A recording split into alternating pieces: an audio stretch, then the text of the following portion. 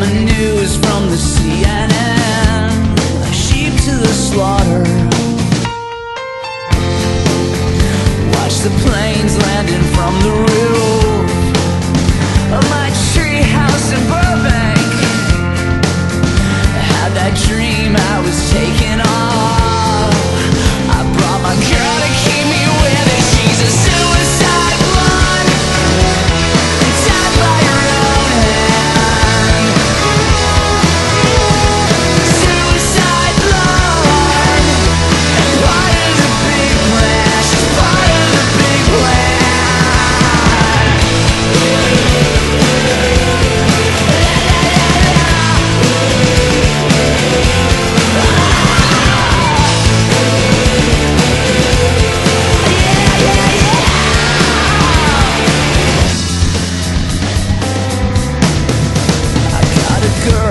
Got a girl, got a girl to keep me